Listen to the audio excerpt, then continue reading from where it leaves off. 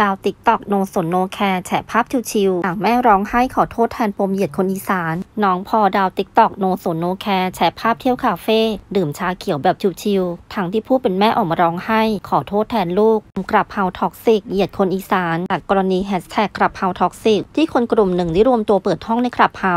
แล้วมีการพูดเหยียดคนอีสานต่างๆ นานา จนกลายเป็นกระแสดราม่า ซึ่งในนั้นมีน้องพอซึ่งมีพื้นเพมาจากภาคอีสาน แต่ตัวเธอถูกจับได้ว่าพูดเหยียดนำไปสู่การไล่ล่า จนเธอต้องปิดโซเชียลมีเดียเกือบทุกช่องทางต่อมานางสาวนิก แม่ของน้องพอบอกว่า น้องพอเป็นคนมีความคิดเป็นของตัวเองรู้ข่าวแม่ก็เสียใจมาก ร้องไห้นอนไม่หลับทั้งคืนยกมือไหว้ขอโทษสังคมด้วย ที่ลูกไม่รู้จักคิด เรื่องนี้อาจจะเป็นเพราะตนเลี้ยงลูกมาไม่ดีเอง แต่ไม่เคยสอนลูกแบบนั้นวอนสังังคมให้อภัยด้วย วันที่ 7 พฤศจิกายน